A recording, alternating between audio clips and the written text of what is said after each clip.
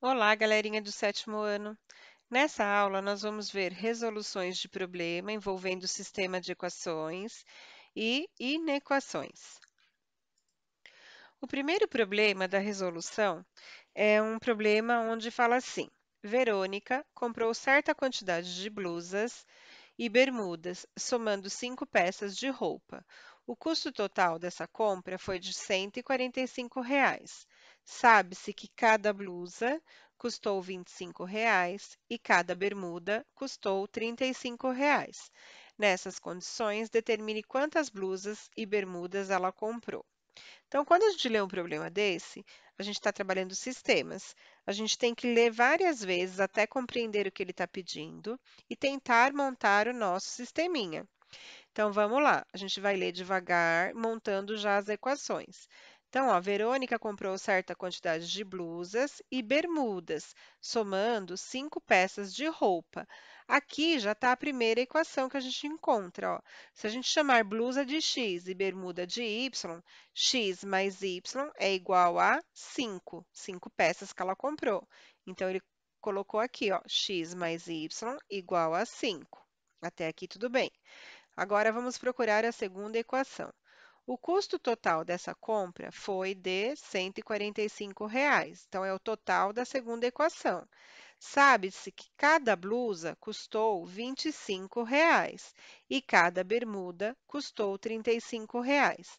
Então, se eu chamei de x as blusas, é 25x. Se eu chamei de, de y as bermudas, é 35y, que é igual a 145, que é o total que ela gastou em reais. Então, vê bem, ó, essa equação aqui, ó, a primeira que está aqui no sistema, ela é referente aos gastos dela. Então, cada blusa custou 25, mas eu não sei quantas que ela comprou. Ó. Então, por isso que eu coloco a letra. Cada bermuda custou 35, mas eu não sei quantas ela comprou. Então, por isso que aqui está Y. E o total da compra foi 145 reais. Beleza, montei o meu sisteminha. Agora eu preciso descobrir quantas blusas e quantas bermudas ela comprou. Então, vamos lá. Primeiro, a gente vai usar o, o, método da substituição e primeiro eu vou isolar uma das duas letras, ou x ou y, nessa equação que está mais simples aqui, ó, que não tem nada multiplicando o meu x e não tem nada multiplicando o meu y. Então, eu vou deixar o y sozinho e vou passar o x para o outro lado da igualdade. Então, y é igual a 5 menos x. Feito isso, eu vou substituir essa, essa nova equação aqui, ó.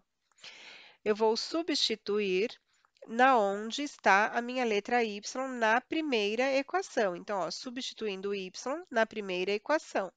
Então, 25x mais 35, no lugar do y, eu vou colocar 5 menos x, que é igual a 145. Daqui eu preciso começar a resolver. Então, eu copio 25x e vou multiplicar o 35 pelo parênteses. É a primeira coisa que eu tenho que fazer, né? Então, 35 vezes 5, 175. 35 vezes menos x, menos 35x, que é igual a 145. Em seguida, eu vou juntar o que é x eu posso juntar. Então, ó, 25x menos 35x. Eu devo 35x, mas eu tenho 25x para pagar. Então, eu vou ficar devendo só 10x. O 175 já passa para o outro lado, ele vem com um valor negativo. Ó. Ele era mais 175, operação inversa vem como menos 175. 145 menos 175 vai dar menos 30. Agora, eu preciso tirar o menos 10 aqui, ó, que está multiplicando o x, senão eu não consigo encontrar o valor dele. Então, tiro o menos 10, passa ele para cá, dividindo, porque ele está multiplicando o x. Operação inversa é a divisão. Então, fica menos 30 dividido por menos 10. Menos que divide menos dá mais, 30 dividido por 10 dá 3. Então, x é igual a 3, e agora eu tenho que encontrar o valor de y. É, no lugar do x, que eu encontrei que é 3, eu vou colocar o 3. Então, ó, eu vou nessa equação aqui, ó, y é igual a 5 menos x. Então, ó, 5 menos 3, que é o x que eu encontrei aqui. 5 menos 3 é 2. Significa que ela comprou x era blusa, lembra? Então, ela comprou três blusas e ela comprou duas bermudas. O exercício 2 é assim. Em uma fábrica são produzidos triciclos e bicicletas. Em um determinado mês, foram produzidos ao todo 100 itens, entre bicicletas e triciclos. Sabe-se que para essa produção foram utilizadas 225 rodas. De acordo com essas informações, calcule quantos triciclos e quantas bicicletas foram produzidos. Então, novamente, nós vamos chamar de X bicicletas e Y é, triciclos, ok? Então, vamos lá, vamos ler mais uma vez para entender e montar as equações. É, em determinado mês, foram produzidos ao todo 100 itens, entre os dois que ele produz. Então, ó, x mais y é igual a 100. Depois ele fala: sabe-se que para essa produção foram utilizadas 225 rodas. De acordo com essas informações, calcule quantos triciclos e quantas bicicletas foram produzidos. Então, ó, a outra equação ficou: se eu tenho um total de 225 rodas, e aí eu vou pensar um pouquinho: bicicleta tem quantas rodas? Duas. Então, dois bicicletas, que é x, ficou assim, ó, 2x. 3, triciclo tem três rodas, então é 3y, que é igual a 225. Feito isso, eu vou isolar essa equação aqui, que ela está mais simples. Ela não tem nada multiplicando o meu x e nada multiplicando o meu y. Então, eu vou isolar o y. Passa o x para o outro membro. Vai ficar y, que é igual a 100 menos x. No lugar do y, eu vou substituir na primeira equação. Então, ó, substituindo y na primeira equação, fica 3x mais 2x mais 3 vezes 100 menos x no lugar do y. Aqui, ó, no lugar do y, eu coloquei 100 menos x, que é igual a 225. Primeira coisa a fazer é multiplicar o 3 aqui pelo parênteses. Então, copio 2x, 3 vezes 100, 300, 3 vezes menos x, menos 3x, que é igual a 225. 2x menos 3x é menos x. Mais 300 passa para cá, fica como menos 300. E 225 menos 300 é igual a menos 75. Esse menos não pode ficar aqui, então eu tenho duas coisas que eu posso fazer. Ou eu multiplico a equação toda, a linha toda, por menos 1, então multiplica os dois lados por menos 1, ou eu pego o menos 1 que está aqui e passo para cá dividindo. Então, eu prefiro passar o menos 1, que vocês lembram que o menos tem que sair daqui. Então, menos 75 dividido por menos 1 é menos com menos, vai dar mais. 75 dividido por 1 é 75. É, voltando lá, nós achamos que x é 75. Na equação, eu vou substituir, então, y é igual a 100 menos x, y é igual a 100 menos 75. 100 menos 75 deu 25, então foram produzidos 25 triciclos e 75 bicicletas, porque eu chamei y de triciclo e x de bicicleta. No exercício 3, já da página 370, a soma das idades dos amigos Felipe Mari e Marina é 55 anos. Então, a soma x mais y é igual a 55. E a diferença, então, é x menos y, a diferença entre eles, é de 9 anos. Então, ó, x menos y é igual a 9. Vou usar o método da adição. Quando eu tenho mais y menos y mais x menos x, se eu tivesse, eu poderia usar o método da adição que iria assumir uma das letras.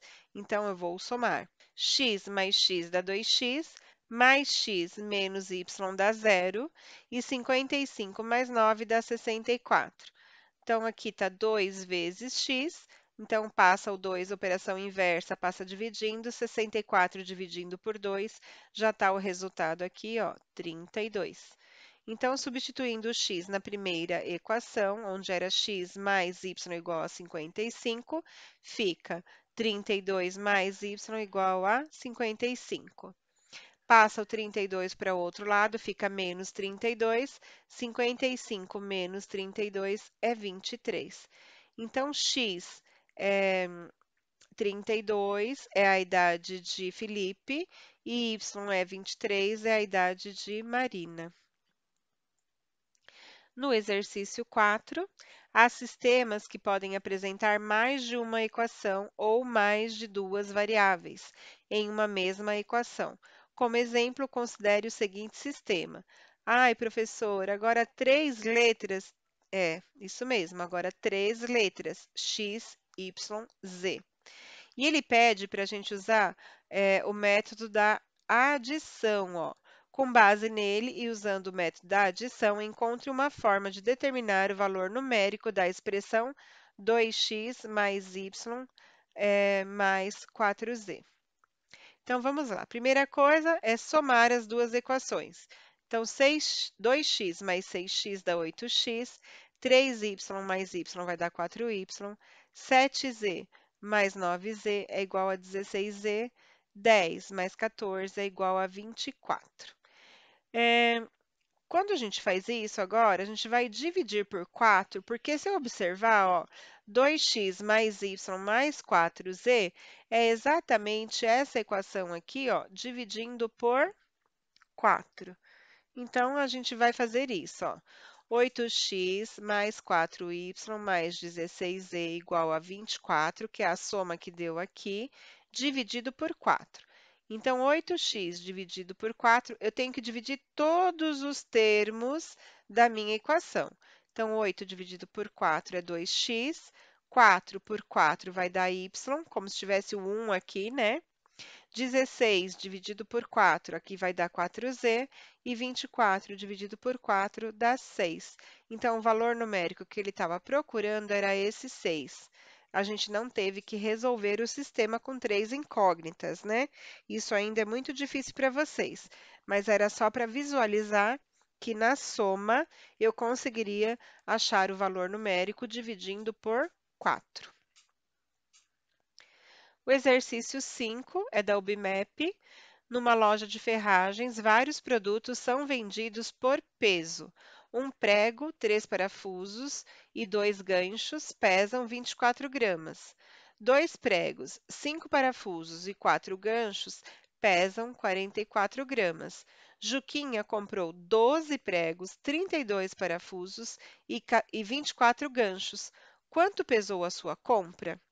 Então, ó, a gente vai ter que fazer um sisteminha e ele vai ter que ter que ter três incógnitas. Ele é parecido com o exercício anterior, tá? Então, sejam P a quantidade de pregos, Q a quantidade de parafusos e R a quantidade de ganchos, ele montou aqui a equação, o sisteminha, ó. Então, ó, quando ele fala lá na primeira, ó, um prego, então aqui é um P. Três parafusos, 3Q. E dois ganchos, 2R, é igual a 24 gramas. Depois ele fala que dois pregos, cinco parafusos e quatro ganchos é igual a 44. Somando as duas equações, a gente vai encontrar. Então, ó, 3 vai dar 3P, é, 8Q e 6R.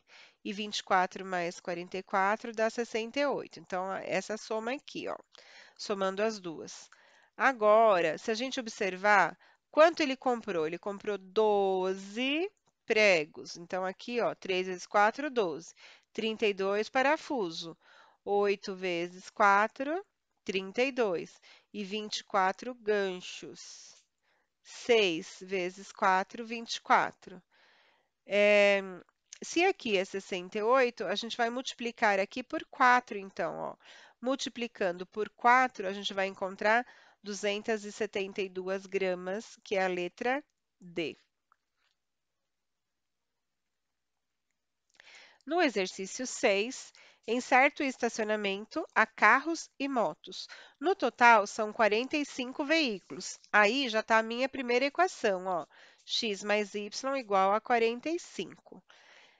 Considerando que há 180 rodas, incluindo os estepes de todos os carros, qual deverá ser o número de carros e de motos nesse estacionamento? Então, somente carros têm step, então são cinco rodas, concorda? E, e as motos têm apenas duas rodas. Então, para carros, a gente vai usar x, então por isso que ficou 5, porque aqui é, é em, essa equação é em relação à quantidade de rodas. Então, 5 para carros e 2 para moto, que é y é igual a 180, que é o total de rodas no estacionamento.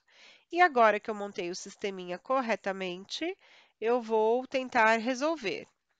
Se for pelo método da adição, eu não posso somar porque não vai ter diferença aqui entre essas duas equações. Então, é, você poderia usar o método da substituição. Mas nesse caso, vamos treinar a adição do jeito que está aqui na minha apostila, tá? Então, a gente vai multiplicar essa primeira equação aqui, ó, por menos 2. Então, x vezes menos 2 dá menos 2x, y vezes menos 2 dá menos 2y. 45 vezes menos 2 dá menos 90. E agora sim, eu tenho menos 2 e mais 2y, ó. Então, vamos somar. 5x menos 2x dá 3x, está aqui. Menos 2 mais 2 deu zero. Menos 90 mais 180 vai dar 90. Então, ó, é, 3x é igual a 90, eu tenho que passar o 3 para cá dividindo. 90 dividido por 3 dá 30.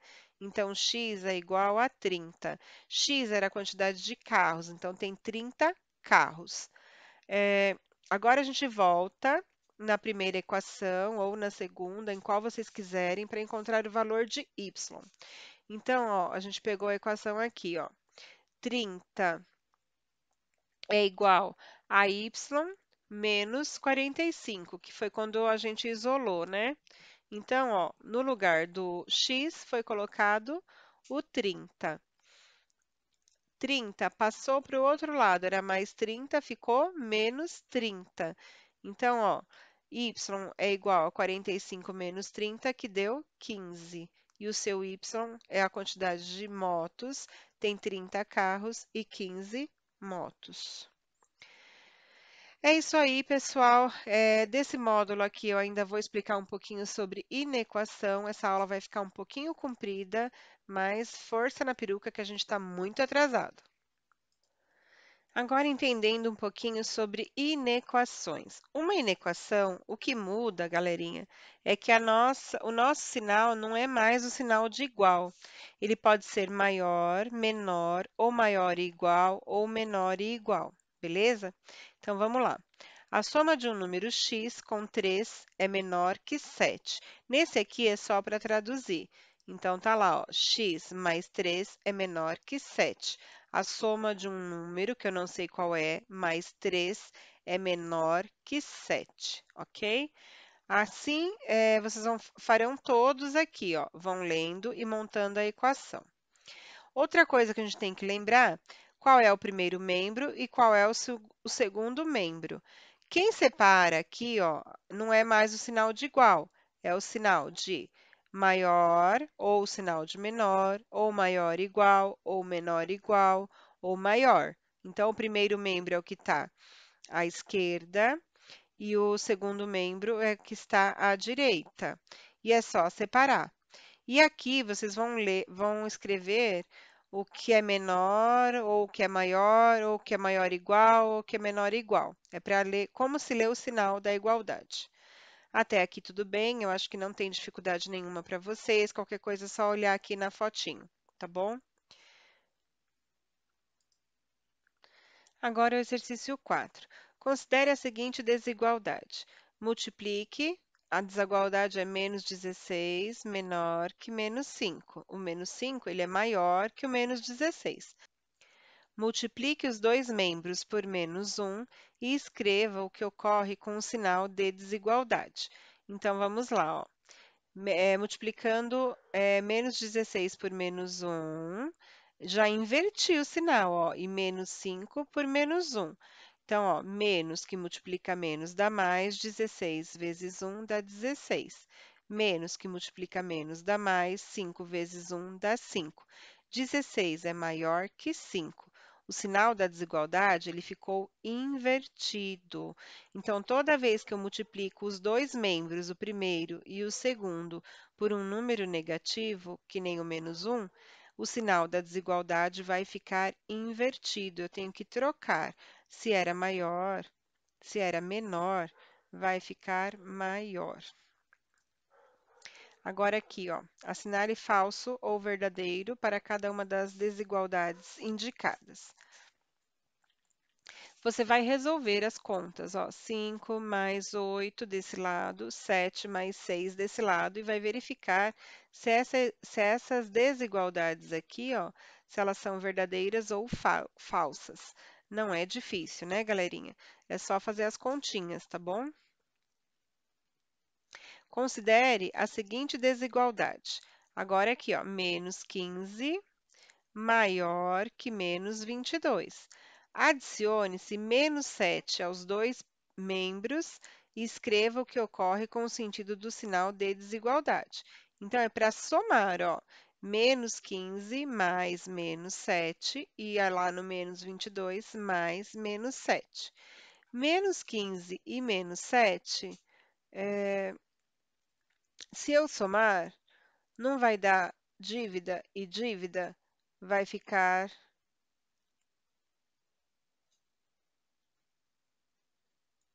Pessoal, tem um errinho aqui nessa apostila, ó. Menos 15 e menos 7, eu estou somando dívidas, então aqui deveria ficar menos 22, tá? Menos 22, e aqui, ó, menos 22 com menos 7 dá menos 29, tá bom? E menos 22 é maior que menos 29. E o sentido, ele permanece do jeito que está.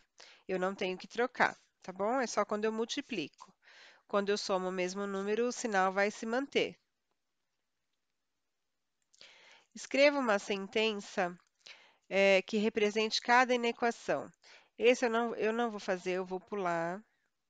Vamos para os mais importantes, para a gente não perder tempo, porque nós estamos muito atrasados. Agora, resolução de inequações do primeiro grau com incógnita, na página 384. Considerando o conjunto universo, que é dos racionais, determine o conjunto solução de cada inequação a seguir.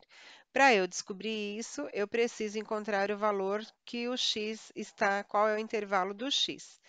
Então, vamos lá. Eu tenho que passar o menos 1 para o outro lado. Então, ó, menos 1. Toda vez que ele passa do sinal de desigualdade, ele vai como a operação inversa. Menos 1 veio como mais 1.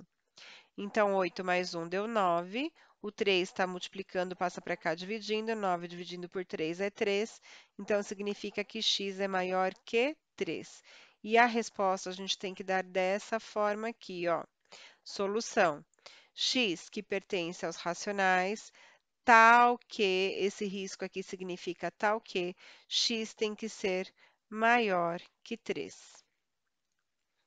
Vocês farão mes a mesma coisa com todos os exercícios aqui e a gente vai tirar as dúvidas no chat.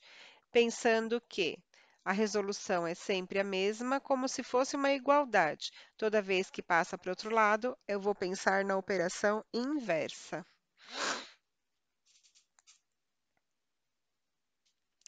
No exercício número 2, as figuras indicam dois triângulos identificados por números e com as respectivas medidas dadas. Então, ó, eu tenho medidas aqui nesse triângulo, que é 8, 8 e 8, que é o triângulo 1. E eu tenho aqui só duas letras, x e x, e aqui eu tenho uma medida 9 no triângulo 2. Deseja-se obter medidas inteiras para x em centímetros, de tal forma que o perímetro do triângulo 1 seja maior que o perímetro do outro triângulo. Além disso, para que o triângulo 2 exista, deve-se ter x menor que 4,5. Quais devem ser as medidas exatas? Então, vamos lá. Primeiro, a gente vai montar a nossa inequação. Então, 2x mais 9, que é desse triângulo aqui, ó. 1 mais 1x dá 2x, mais 9, então tem os três lados, tem que ser menor que 3 vezes 8, porque ele fala aqui, ó. Tem que ser menor do que desse triângulo. E esse não é 1, 2, 3, que é 3 vezes 8. Então, tem que ser menor que 3 vezes 8. Então, vamos lá. Resolvendo agora. 3 vezes 8 é 24. Esse mais 9 passa para cá como menos 9. 24 menos 9 deu 15. Agora é o 2 que passa dividindo. Então, x é igual a 7,5. Então, vamos lá. Igual não, né? Tem que ser menor que 7,5 para dar certo o que ele está pedindo no exercício. Então, deseja-se obter uma medida inteira para x em centímetros, que deve ser maior que 4,5, dado o enunciado, e menor que 7,5. Logo, as medidas possíveis inteiras, porque ele não quer número decimal, inteiras serão 5, 6 e 7, porque está nesse intervalo entre 4,5 e 7,5. Então, as medidas procuradas podem ser 5, 6 ou 7, no valor aqui do x, tá bom? No exercício 4, sendo o conjunto universo o conjunto dos naturais, verifique se a inequação apresenta o conjunto solução vazio. Então, vamos lá. Tenho essa inequação aqui e eu vou resolvê-la. Então, esse menos, ele está multiplicando o x e o 3. Então, ó, copio 5x, menos com mais dá menos, então fica menos x, menos com mais dá menos, então fica menos 3. Aqui também eu vou multiplicar, ó, 2 vezes x dá 2x, 2 vezes menos 1 dá menos 2. Agora, é, 5x menos x dá 4x, e eu copio o 3. Desse lado, 2x mais 3x vai dar 5x e menos 2. Agora, eu vou passar quem é 5x para o lado de cá e quem é número para o lado de cá. Então, ficou 5x menos 4x menos 5x, porque ele era positivo antes de passar. Desse lado ficou menos 2 e o menos 3 veio como mais 3. Isso deu menos x maior que 1. Nesse caso, eu vou ter que multiplicar por menos 1 também, porque eu não posso deixar o meu x negativo. Então, vai inverter esse sinal, ó. Inverteu, x tem que ser menor que menos 1.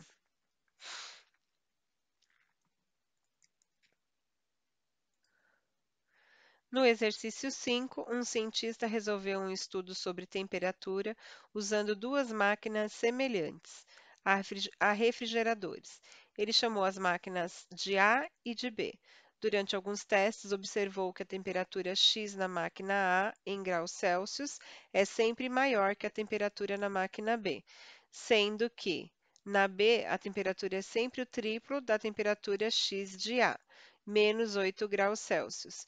Então, para emitir o relatório que detalhe melhor os possíveis valores que foram observados nas condições anteriores, ele escreveu uma inequação que traduz essa situação resolvendo-a de forma correta, qual é o valor que nós temos.